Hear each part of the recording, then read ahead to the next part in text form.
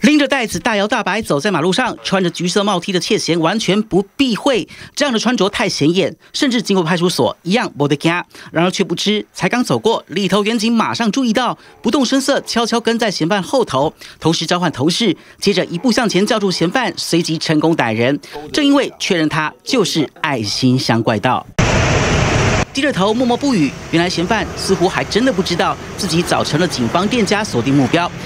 看看大白天手提的橘色塑胶袋，身穿橘色帽 T，酷似卡通人物阿尼的窃嫌，手还不时摸摸鼻子，戴着帽子，神情鬼祟，快步行走离开。仔细看手中的袋子沉甸甸，似乎装了重物，里面的东西其实就是店家的爱心箱。发觉这段时间只有他进来。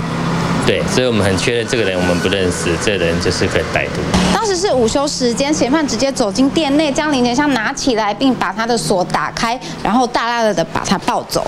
三号下午四点多，新北市泰山区窃嫌趁着午休时间闯入小吃店行窃，爱心盒子就放在遮蔽处，甚至挂上铁链。然而即便这样，也被这名窃嫌给直接摸走。算算客人的善款，大约有两千多元，就这样被整箱给带走。好在警方全力锁定下，加上窃。窃嫌自己实在太招摇，逮货全不费功夫。接下来还要再查他到底偷了多少爱心箱。这李俊峰、郑小璇台北报道。